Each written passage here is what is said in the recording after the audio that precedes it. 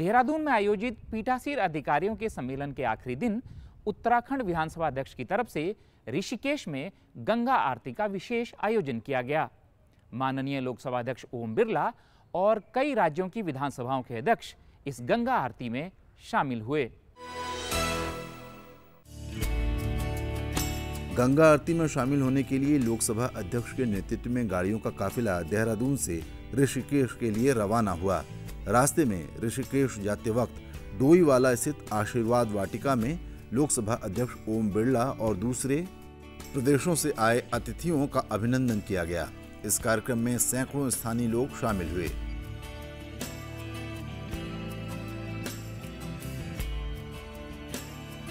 ऋषिकेश पहुँचने पर लोकसभा अध्यक्ष ओम बिरला 16 विधानसभा अध्यक्षों और 9 उपाध्यक्षों का भव्य स्वागत किया गया। उत्तराखंड विधानसभा के अध्यक्ष प्रेमचंद अग्रवाल, नगर निगम की महापौर अनीता ममगाई और श्री गंगा सभा के अध्यक्ष चंद्रशेखर शर्मा ने पीठासीन अधिकारियों का स्वागत किया। इसके बाद लोकसभा अध्यक्ष की अगुवाई में सभी अतिथियों ने त्रिवेणी घाट पर गंगा मैया की विधि विधान से पूजा अर्चना की।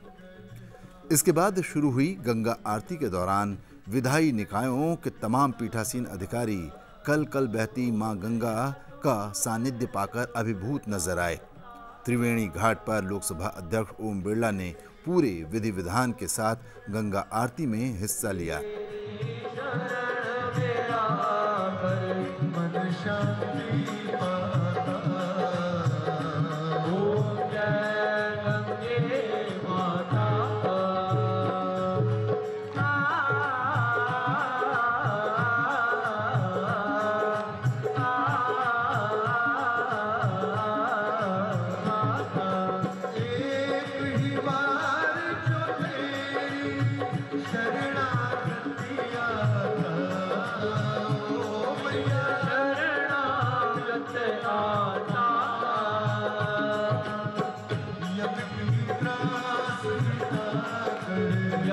लगे कष्ट मिटा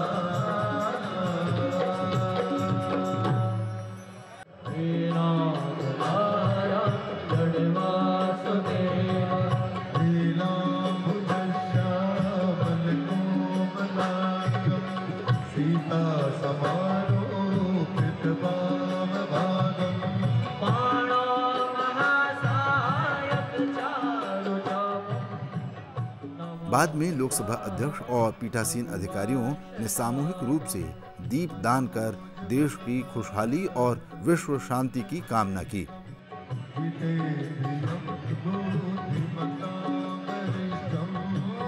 अतिथि पंजिका में अपनी भावनाएँ व्यक्त करते हुए लोकसभा अध्यक्ष ने लिखा कि गंगा माता की आरती की भव्यता अद्भुत थी।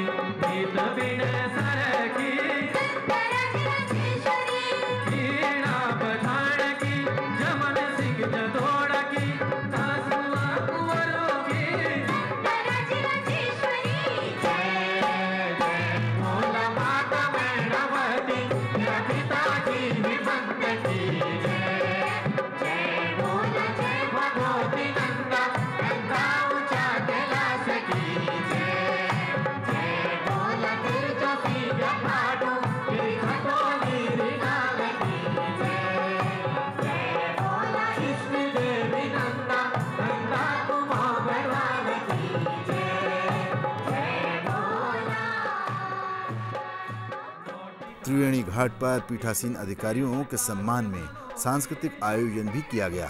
नंदा राजजात यात्रा पर आधारित प्रस्तुति देखकर वहाँ मौजूद सभी लोग मंत्रमुग्ध नज़र आए।